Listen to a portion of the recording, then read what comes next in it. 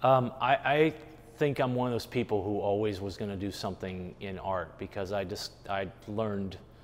I, my earliest memory of discovering this was when I was in sixth grade and people wanted me in my classes that I was in in sixth grade. They wanted me to do drawings for them, and I remember that my parents um, got a little notice from the teacher that I was spending too much time helping other students with their drawings versus doing my own work.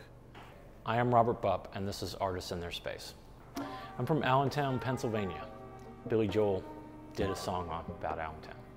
So I used to draw sports characters from the magazines that we would get, you know, and I would just copy the, you know, the Michael Jordan photograph, and I kind of learned to draw that way.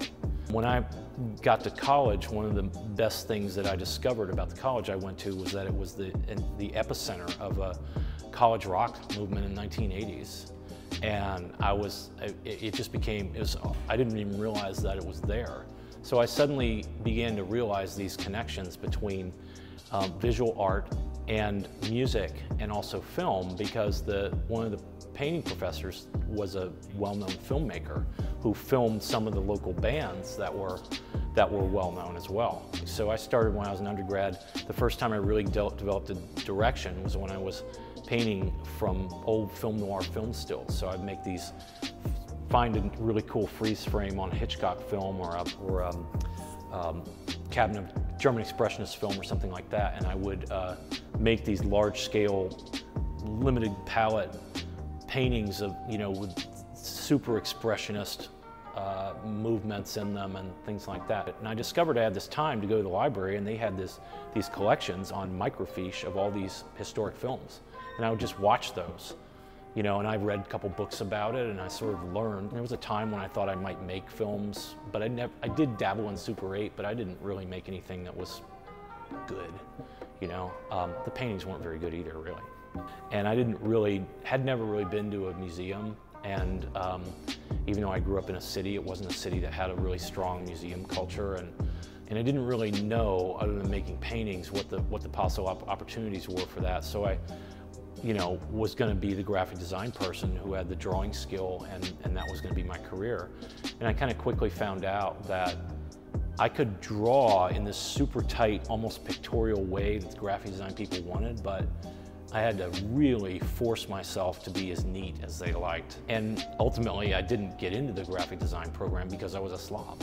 So um, I was like, okay, I must be a painter, you know, and that, that's kind of where it led for there is like, okay, I'm going to do this. And my parents didn't say no.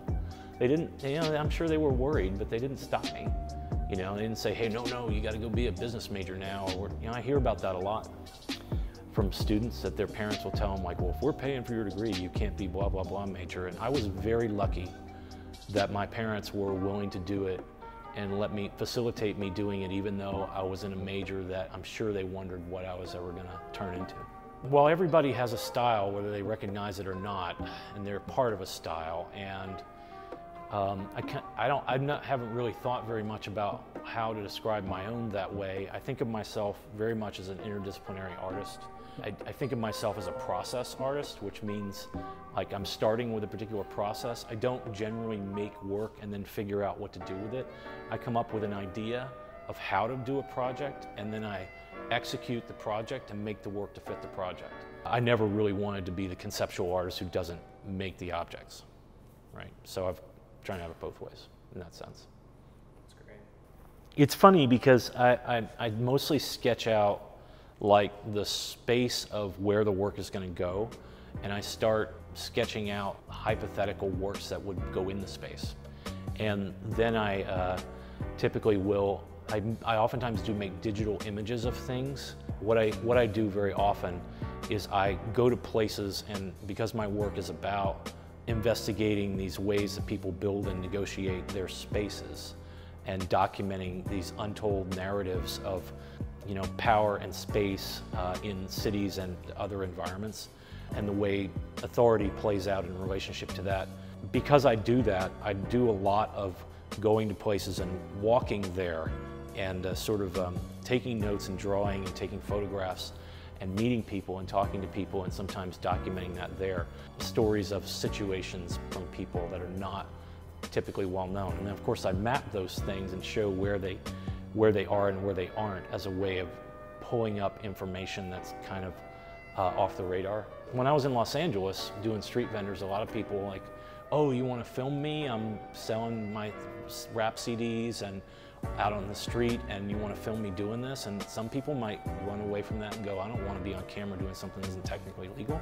And there's other people that would be like in Los Angeles they'd be like what TV station are you working for? Film me? Sure yes you can put it on Instagram? You know I mean it was like oh yeah I want to be on camera.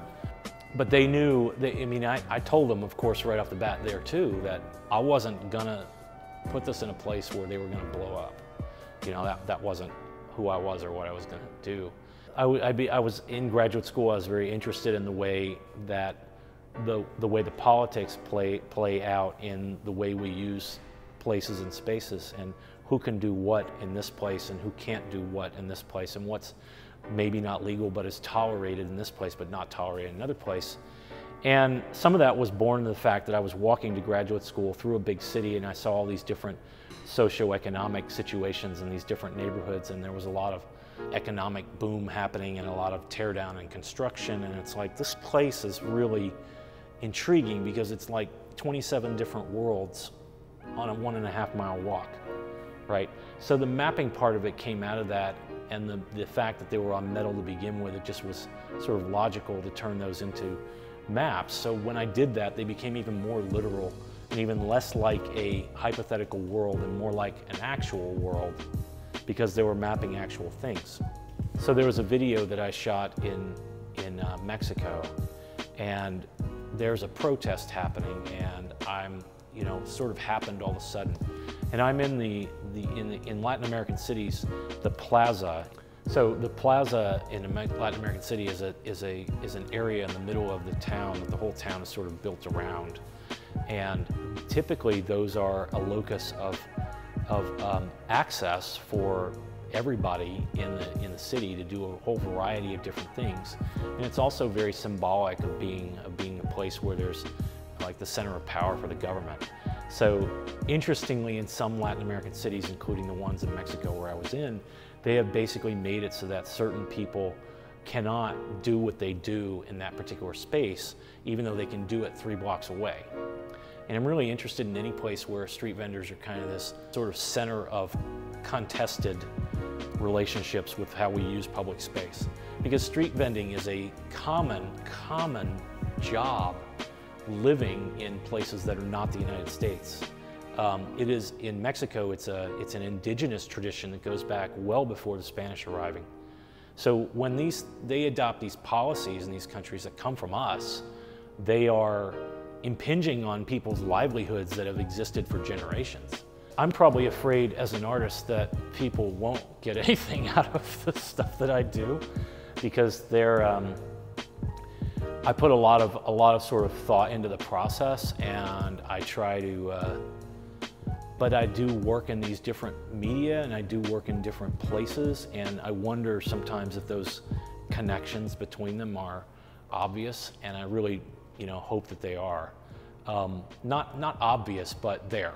Well, in the sense of it being, you know, like uh, thinking of this project, Las Calles Públicas, as a, as a project that started in 2015, I don't know when it would end. I mean, uh, that to me is never finished. I mean, I, I may decide I'm tired of it and I move on to another project, or I've done work on it and if something else gets me excited, and I'll move on to something else from there.